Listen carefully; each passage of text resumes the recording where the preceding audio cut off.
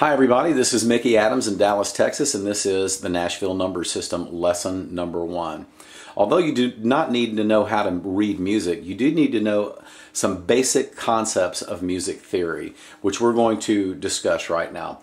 Please don't be intimidated by the fact that I have a staff on my whiteboard. There are no sharps and no flats in the signature, no time signature, and uh, it's really not going to be necessary for you to read music. But again, you are going to need to understand some basic theory.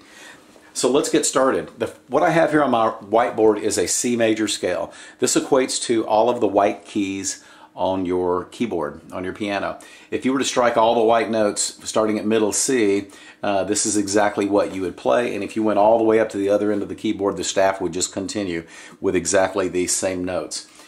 So what I have here is C, D, E, F, G, A, B, C. No sharps, no flats. There's no time signature here, so this is not a whole tone. This is just for distance is all we're doing. So let's look at from C to D. C to D on an electric guitar or any other instrument is a whole step. Uh, meaning there is a half step between C and D. Of course, there's a C sharp, and then there's a D sharp between D and E. So we have a whole step. It equates to fret number one to fret number three, etc. The distance from the one first note in the scale to the second note in the scale is not referred to a 2 but referred to as a 9. Now we'll get into this when we start building uh, basic chords and altering them.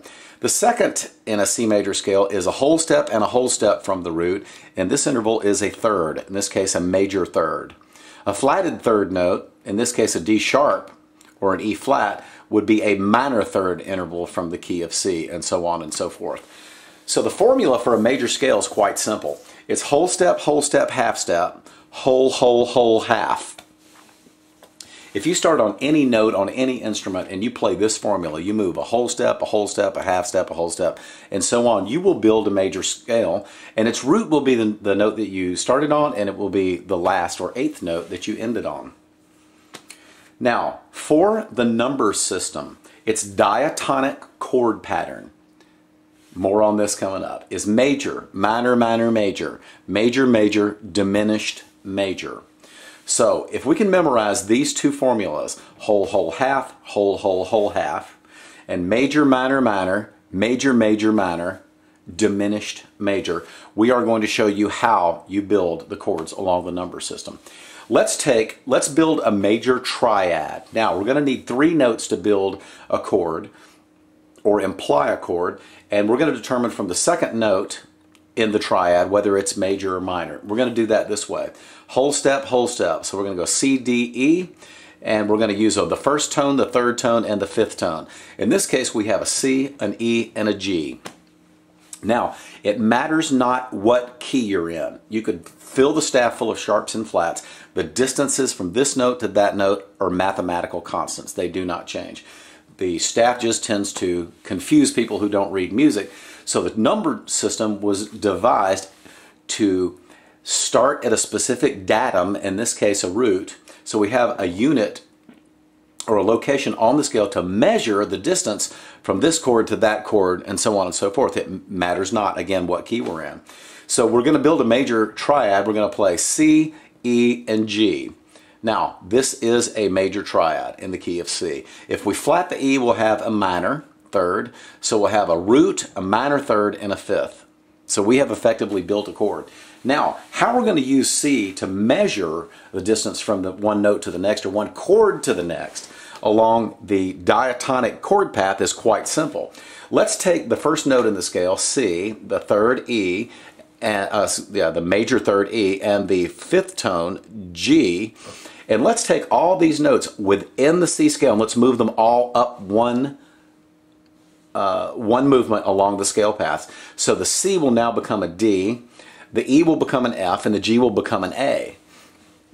So what you've effectively done is you've had a C major triad, and as we moved up the scale path, major, the second chord is minor. Well, guess what? D, F, and A make a D minor triad. That is chord number two.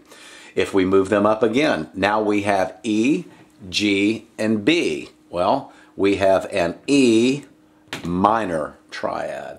The next one builds an F major. The next one builds a G major. Then on to A minor, the relative six for the key of C. The sixth tone in a C major scale is A. A becomes what we refer to as the relative minor. Now this is, this is very important, important in writing charts as well as understanding how we write things in a minor key. Uh, the seventh again is always diminished and I'm going to uh, reinforce that for you uh, later on down the road. So if you get the basic idea from C to D minor is from the one chord to the two chord, the three chord is E minor, the four chord is F major, G major, A minor, the sixth, uh, B diminished, and C major. This is where the number system comes from. Now it's a whole lot easier for me to write four chord dominant seven like this, especially when we're using extremely altered chords such as 13s. Uh, well, what is a 13? Well, it's a if it's not minor 13, it's major 13, then it's a major chord with a 6 and a 7 uh, note added to it somewhere. 6 and 7 is 13, basic math, which is basically all that theory is in reading music. We're only measuring distances from one note to the next and building chords. And we're moving them about what we call a diatonic path. Now, the diatonic path basically means that the notes that we are using only pertain to the C scale. So therefore, there are no sharps and flats. This is the simplest method that we can we can use to explain exactly how the number system works. Well, let's look at some chord formulas, some extremely famous chord formulas. For instance, the doo-wop progression, uh, 1625. And the key of C would be C, A minor, A minor, 6. Uh, 2 is D minor, and the 5 chord is G. Now, if we were in the key of, let's say, B, what do you think B would be? Well, the distances would all remain the same, but now we would have what? We'd have B, G sharp minor, C sharp minor, and F sharp. But even though they're written with sharps and flats, if you move them up the scale to C, a half step up, you would actually have the exact same distances between the chords. So this is where the number chart came from. It's a whole lot easier for guys in the studio to write a chart as opposed to writing all the sharps and flats, etc., etc., and leave it up to you to determine what you're going to alter in the chords to give them uh, flavor or uh, some pizzazz. In other words, is are we going to play a major seven on the four chord? Or are we going to play a dominant seven on the seven chord? Or, or we're going to play a 13 with a sharp five flat nine on the five chord to turn back to the one?